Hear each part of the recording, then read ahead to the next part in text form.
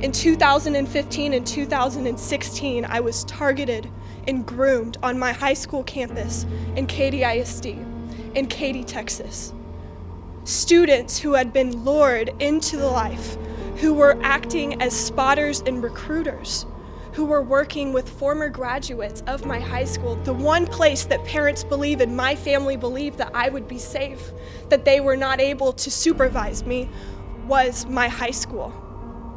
And believe me, believe me, they tried when I started to distribute very high risk behaviors, but this begins as the first step of grooming is to befriend.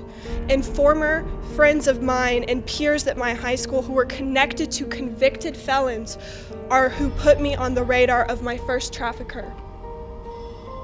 This trafficker who was a former graduate not much older than I, so many people have a misconception of what traffickers, buyers, and victims look like, and that's what we're here to do is to help people understand. This trafficker was able to come and pick me up off of school property during school hours.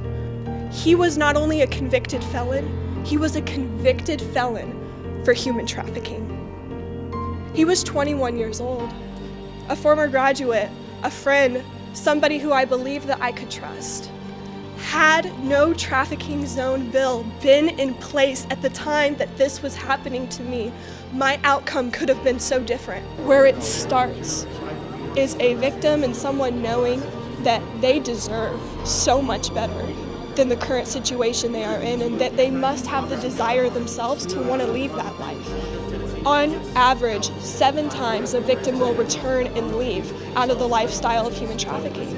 We need to speak to the heart of these children, of these young adults, of men and women, of anybody. It's not just children who are being impacted, but we need to speak to their identity and their priceless worth and who God says they are, and not the identity of sex trafficking.